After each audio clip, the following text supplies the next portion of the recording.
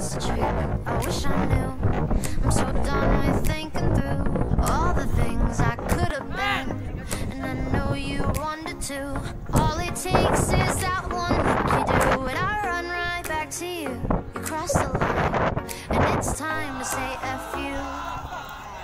What's the point in saying that when you know how I'll react? You think you can just take it back, but shit just don't work drug that I'm addicted to, and I want you so bad. Guess I'm stuck